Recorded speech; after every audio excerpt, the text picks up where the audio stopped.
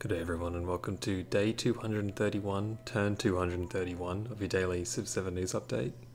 There is no news today. Thanks for watching.